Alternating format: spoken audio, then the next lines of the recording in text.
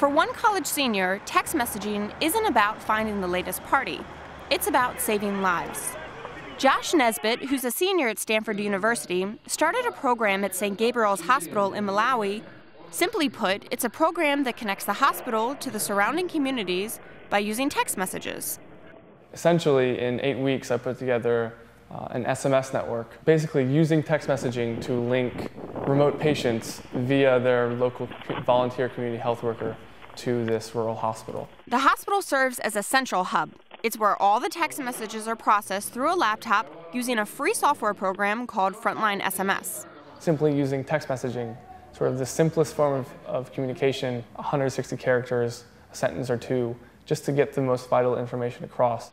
And in Malawi, which according to UNAIDS has one of the highest national HIV prevalence rates in the world, hospitals and communication between doctors and patients is vital, yet rare. The two doctors at St. Gabriel's serve a quarter of a million people in a 100 mile radius. It's important to track patients, but with only two doctors, the community and hospital rely heavily on volunteer community health workers, who now are using these cell phones. Josh ended up teaching 80 community health workers how to text message and how to use the phones. The program is kind of functioning now like 911. Let's say someone's reacting to their HIV meds or uh, is, you know, is someone just broken their leg in a rural village.